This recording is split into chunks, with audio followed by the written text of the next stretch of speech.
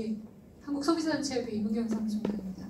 그 말씀을 우려할 말씀을 전 안 할 수가 없는데요. 그러니까 이제 피해법도 얘기하고 또 소비자와 함께해서도 얘기를 했는데 한국은 집단소송제나 징벌적 손해배상이나 이런 행정적 제도가 없는 상태입니다.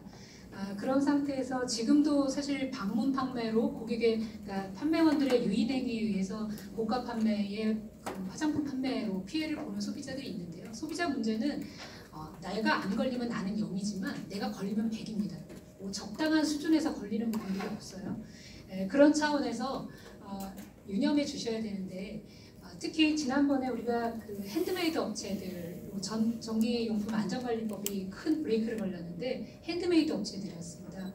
핸드메이드 업체가 1인 업체들이 많기 때문에 어마어마한 숫자들이 있고 그걸 관리할 수가 없어요. 근데 지금 이 업법으로 보게 되면 조제관리사라고 하는 것도 1인 가구, 1인 기업으로 아, 판매될 수 있고요. 또 하나는 중개업체 책임을 어떻게 할 거냐라고 하는 부분이 여기 아주 깊숙이 녹아 들어가 있어야 됩니다.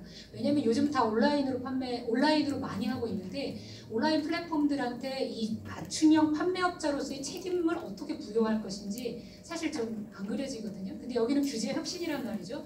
그러면 이, 업, 이 업법을 조금 더 활성화시키려고 한 건데 그 규제가 이 뒷단에 들어가게 되면 이, 이게 다시 무거워진다고 생각해서 아마 반발들이 많을 건데. 이 안전성을 그런 데서 어떻게 행정이 가져갈 것이냐라고 하는 부분에서 저는 고민을 많이 해주셔야 된다고 생각이 들고 또 하나는 여기쯤 와 계신 분들이면 사실 저는 걱정하지 않는다고 생각합니다.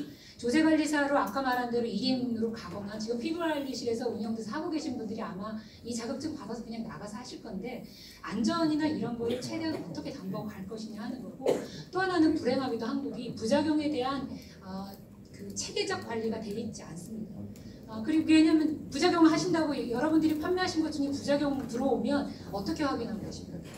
우리 소비자들은 어떻게 하냐면 의사들의 자격증이 이제 소견이 들어가야 되거든요. 의사 안 띄워줍니다.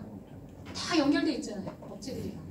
누가 띄워주겠습니까? 근데 그런 부분들에서 안 되어 있는데 어떻게 소비자 안전을 지키겠다고 하는 것인지 그 부분이 명확치 않기 때문에 저는 어쨌든 지금 현재 이 가지고 있는 안전성이나 이런 여러 가지 것들을 포함해서 향후 생기는 거래 형태 유형 까지도 여기에 지금 포함해서 고민을 해주시지 않으면 지금 업체들도 아, 단순하게 소금 판매하는 게 좋겠다. 지금 맞춤형에 왜 소금 판매가 들어가는지 이해도 알 수가 없어요. 이거는 그 맞춤형으로 가면 소비자 피해 보상에서 맞춤형은 다 손 놓고 있습니다. 그거는 다 소비자 책임으로 가거든요. 맞춤형 경우에. 근데 소금 판매하는 게 어떻게 맞춤형이에요? 다른 나라에서 가져온 거 가지고 그냥 하는 건데. 그런 부분에 대해서 소비자 피해 바닥으로 내려갔을 때 소비자 피해가 발생할 수 있는 그 지점에 내용들이 적적 적극적으로 반영돼야 된다라고 저는 네, 여러 번 말씀드리겠습니다. 네. 네, 저도 저기 업계 입장에서 말씀을 드리면 지금 조현미 대표님이 말씀하신 거는 저희 업계도 굉장히 걱정을 했던 부분이고 그건 아마 명확하게 법에서 그 이번에 신규칙에서 막힐 일이라고 생각을 하고요.